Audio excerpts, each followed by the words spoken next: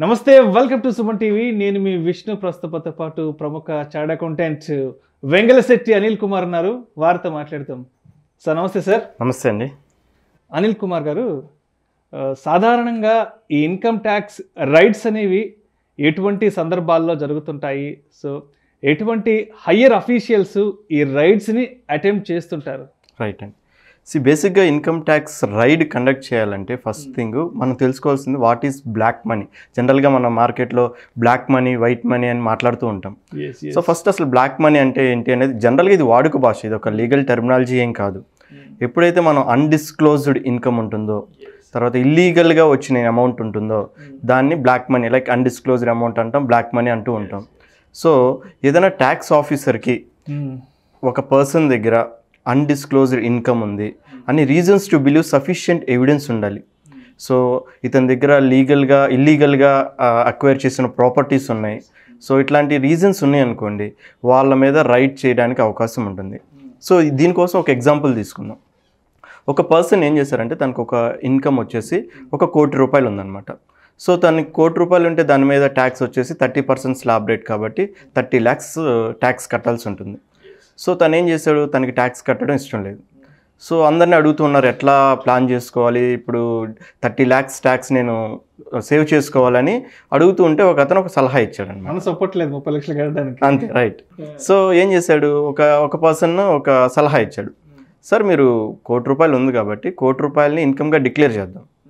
కాకపోతే దాంట్లో ఒక పది లక్షల్ని మీ రెగ్యులర్ ఇన్కమ్గా చూపిద్దాం. ఒక తొంభై లక్షల్ని మనం ఒక డిడక్షన్ కింద క్లెయిమ్ చేద్దాం అన్నారు. సో ఏంటి సార్ అంటే అతను ఏం చేశాడంటే మనం ఒక పొలిటికల్ పార్టీ దగ్గరికి వెళ్దాం. మీ అకౌంట్లో ఉన్న తొంభై లక్షలు ఏం చేద్దామంటే వాళ్ళకి ఒక డొనేషన్గా ఇద్దాం. ఓకే. సో పొలిటికల్ పార్టీస్కి ఏంటంటే క్యాష్ ఎక్కువ కాంట్రిబ్యూషన్స్గా వస్తూ ఉంటాయి కాబట్టి వాళ్ళ దగ్గర లిక్విడ్ క్యాష్ జనరల్గా అవైలబిలిటీ ఉంటుంది. సో వాళ్ళు లీగల్గా ఏదన్నా మీటింగ్స్ పెట్టడానికి వాటి ఖర్చులుగా చూపించుకోవడానికి వాళ్ళ బ్యాంక్ అకౌంట్లో కూడా అమౌంట్స్ రిక్వైర్మెంట్ ఉంటూ ఉంటుంది సో ఇతను ఏం చేశారంటే ఆ పొలిటికల్ పార్టీ వాళ్ళతో ఎవరైతే ఉన్నారో ఎక్స్ పార్టీ ఏదైతే ఉందో దాంతో మాట్లాడుకున్నారు. ఈ తొంభై లక్షలని నేను ట్రాన్స్ఫర్ చేస్తాను మీకు. నాకు ఒక ఎయిటీ ఫైవ్ ల్యాక్స్ క్యాష్ ఇవ్వండి అని మాట్లాడుకున్నారు.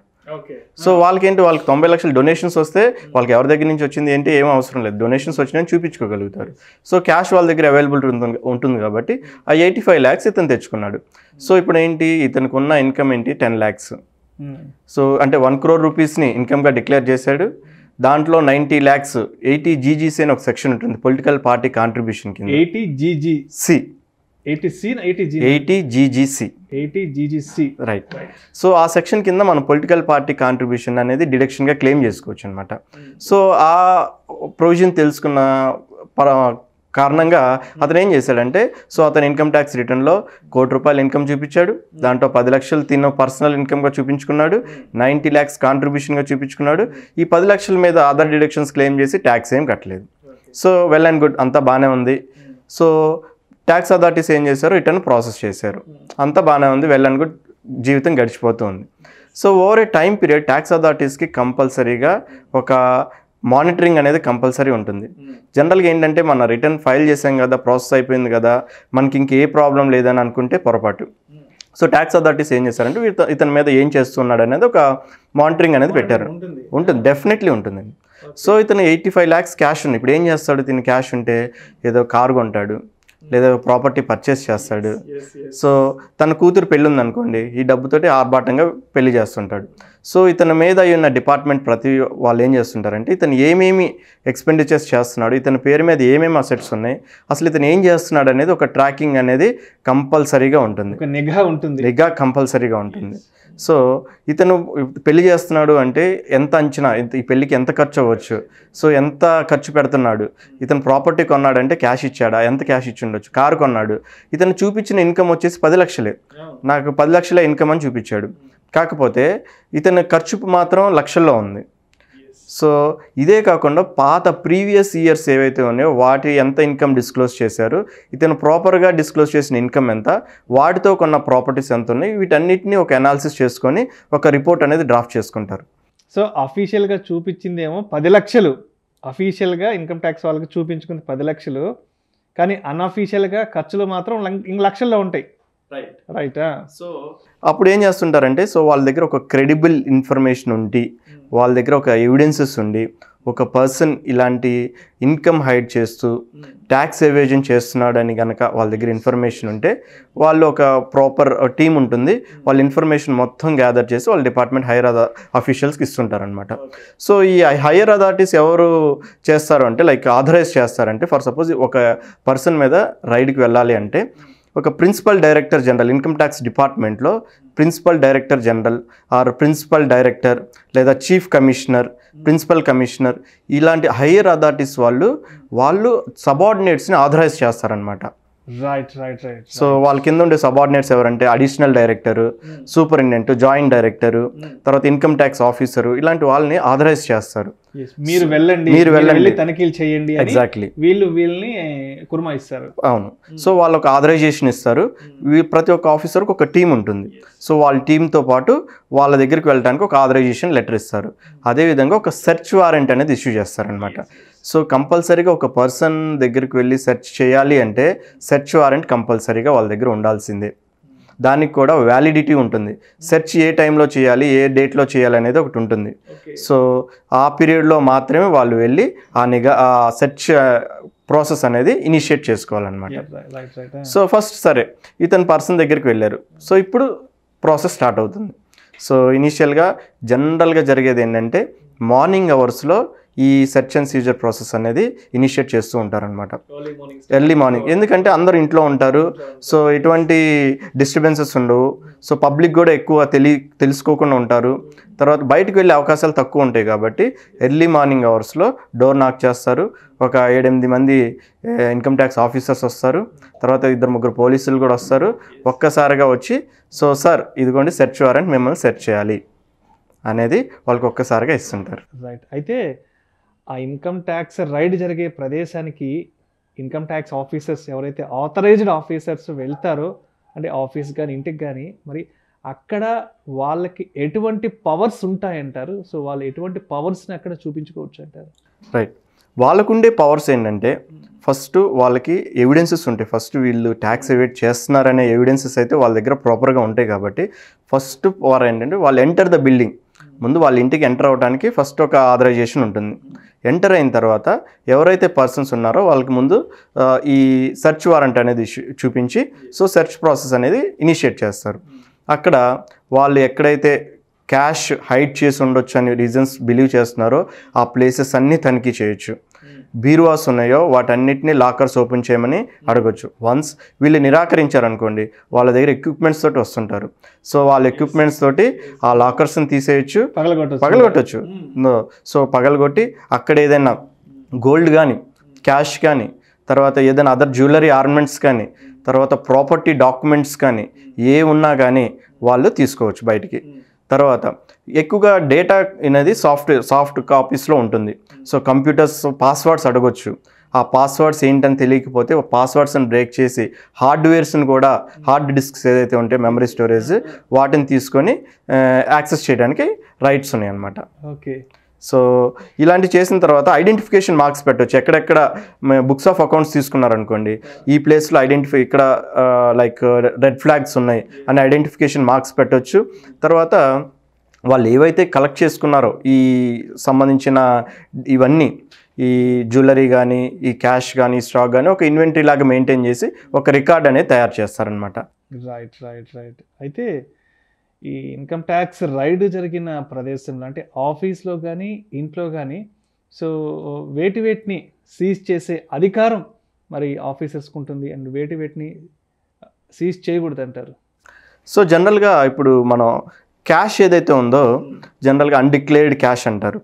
సో క్యాష్ కానీ జ్యువెలరీ కానీ బుక్స్ ఆఫ్ అకౌంట్స్ ఏవైతే మెయింటైన్ చేస్తున్నారో వాటిని తర్వాత డైరీస్ ఏదైనా వాళ్ళ పర్సనల్ డైరీస్లో జనరల్గా రాసుకుంటూ ఉంటారు. సో డైరీస్ని సీజ్ చేయొచ్చు. తర్వాత కంప్యూటర్ చిప్స్ హార్డ్ డిస్క్స్ తర్వాత డాక్యుమెంట్స్ ఏదైనా ఉంటే documents related property trade agreements ఉంటాయి. సీక్రెట్ ట్రేడ్ అగ్రిమెంట్స్ ఏదైనా ఉంటే వాటన్నిటిని వాళ్ళు సీజ్ చేసే అధికారం ఉంది. వేటిని సీజ్ చేయకూడదు అంటే ఫర్ సపోజ్ ఇప్పుడు మనం already income tax returns file చేసి ఉంటారు కాబట్టి కొంత ఇన్కమ్ అనేది డిక్లేర్ చేసి ఉంటారు సో వాటి ఎంతవరకు అయితే డిక్లేర్ చేశారో వాటిని సీజ్ చేయడానికి అవకాశం లేదు. తర్వాత stock in trade for suppose మన బిజినెస్ వచ్చేసి ఏదన్నా బైక్ ట్రేడింగ్ uh, అనుకుందాం. సో మన స్టాక్ వచ్చేసి bikes so stock in trade మన బిజినెస్ సంబంధించి ఏదైతే స్టాక్ ఉందో వాటిని ఏమి సీజ్ చేయరు అనమాట తర్వాత క్యాష్ ఏదైనా ఉందంటే క్యాష్ ఏదైనా దానికి సంబంధించిన సోర్స్ ఏదైనా చెప్తున్నాం అనుకోండి ప్రాపర్గా సో ఈ క్యాష్ పలానా దగ్గర నుంచి వచ్చింది. దానికి ప్రాపర్ సోర్స్ ఎక్స్ప్లెయిన్ చేస్తున్నాం. వాటిని కూడా సీజ్ చేయరనమాట సో ఇవి ఈ సీజ్ చేయడానికి సీజ్ చేయకపోవడానికి లైక్ ఈ ఈ ప్రొవిజన్స్ అనేవి చూస్తూ ఉంటారు. Hmm. అయితే ఈ ఇన్కమ్ ట్యాక్స్ రైడ్ ఈ తనిఖీ జరుగుతున్న ఈ సమయంలో మరి hmm, ఆ ఇంట్లో ఉన్న వ్యక్తులకి ఎటువంటి హక్కులు కూడా ఉంటాయంటారు? రైట్ పర్సన్కి లైక్ ఇప్పుడు ఒక పర్సన్ మీద రైట్ చేస్తున్నారంటే ఫస్ట్ థింగ్ ఏంటంటే అంత ఎర్లీ మార్నింగ్ టైం మరి అంతమంది ఒక్కసారిగా వచ్చారు అంటే వాళ్ళు ఒక్కసారిగా లైక్ మెంటల్ డిప్రెషన్లోకి వెళ్ళిపోవచ్చు. షాక్ షాక్ అవ్వచ్చు. లేదా వాళ్ళ ఇంట్లో ఓల్డ్ ఏజ్ పీపుల్ ఉండొచ్చు. సో ఇట్లాంటి టైంలో మెడికల్ ఎమర్జెన్సీస్ వచ్చే అవకాశం ఉంది. సో ఒక డాక్టర్ని కాల్ చేయొచ్చు. వీళ్ళకి పర్సన్కి ఏంటంటే ఒక పర్సన్ ఎమర్జెన్సీ టైంలో ఒక డాక్టర్ని పిలవచ్చు. తర్వాత ఎవరైతే ఆఫీసర్స్ వచ్చారో వాళ్ళకి ప్రాపర్గా అసిస్ట్ చేయాలి. సో వాళ్ళు ఏదైతే క్వశ్చన్స్ అడుగుతున్నారో వాటికి ప్రాపర్గా ఆన్సర్స్ ఇవ్వాలి. వేటి గురించి అయితే రిక్వైర్మెంట్స్ ఉన్నాయో లైక్ ఏదైనా బీర్వాస్ తీయమన్నారు అనుకోండి వాటిని ప్రాపర్గా వాళ్ళకి హెల్ప్ చేస్తూ తీయాలి. తర్వాత ఏదన్నా లేడీ పర్సన్స్ ఉన్నారనుకోండి వాళ్ళని పర్సనల్గా సెర్చ్ చేయాలంటే కంపల్సరీగా లేడీ ఆఫీసరే అయి ఉండాలి. సో ఫర్ సపోజ్ ఏదైనా వాళ్ళ ఇంట్లో చిన్న పిల్లలు ఉన్నారు అనుకుందాం వాళ్ళు స్కూల్కి వెళ్ళాలంటే వాళ్ళకి పర్మిషన్ ఉంది ప్రొవైడెడ్ వాళ్ళ బ్యాగ్స్ని చెక్ చేసి పూర్తిగా వాళ్ళ స్కూల్కి పంపించవచ్చు. ఓకే. తర్వాత ఎవరైనా ఇద్దరు విట్నెస్ని పిలుచుకోవాలండి. సో వీళ్ళిద్దరూ ఉన్నారు వీళ్ళ ఇంట్లో జరుగుతుంది ఈ ప్రక్రియ అనేది. సో ఎవరికి తెలియకపోతే సో ఎంత జరిగింది ఎంత తీసుకెళ్ళారు అనేది సో ఐడెంటిఫికేషన్ ఉండదు కాబట్టి ఇతనికి ఏంటంటే రెస్పెక్టబుల్ పీపుల్ని ఒక ఇద్దరిని పి- పిలవచ్చు అనమాట రెస్పెక్టబుల్ పీపుల్ అంటే ఎవరైనా ఉండొచ్చు కాకపోతే వాళ్ళ దగ్గర వాళ్ళ మీద క్రిమినల్ ఛార్జ్ ఏది లేకుండా సో ఒక ఇద్దరు విట్నెస్ని పిలుచుకోవచ్చు. వాళ్ళ విట్నెస్ సమక్షంలోనే ఈ సర్చ్ అండ్ సీజర్ ప్రాసెస్ అనేది జరగవచ్చు అనమాట సో ఇలాంటి రైట్స్ అండ్ డ్యూటీస్ ఉంటాయి. ఇప్పుడు ఏదైతే స్టేట్మెంట్ ప్రిపేర్ చేస్తారో డిపార్ట్మెంట్ వాళ్ళు ఇది ఇంత దీన్ని పంచనామా అంటారండి. సో ఇంత జ్యువెలరీ ఉంది ఇంత స్టాక్ ఉంది ఇంత ఇది ఉంది లైక్ ఇంత క్యాష్ ఉంది అన్నీ ఒక పంచనామాగా క్రియేట్ చేస్తారు. ఎవరెవరు ఆఫీసర్స్ వచ్చారు ఎంతమంది ఉన్నారు ఇక్కడ కండక్ట్ జరుగుతున్న టైంలో ఎవరెవరు ఉన్నారు ఇవన్నీ ప్రాపర్గా ట్రాన్స్పరెంట్ మోడ్లో జరుగుతుందండి సర్చ్ అండ్ సీజర్. ఏది ఒక లైక్ ఎవరికి తెలియని విధంగా ఏముండదు. ట్రాన్స్పరెంట్గా ప్రతి పాయింట్ అనేది రికార్డ్ చేస్తూ ఉంటారు.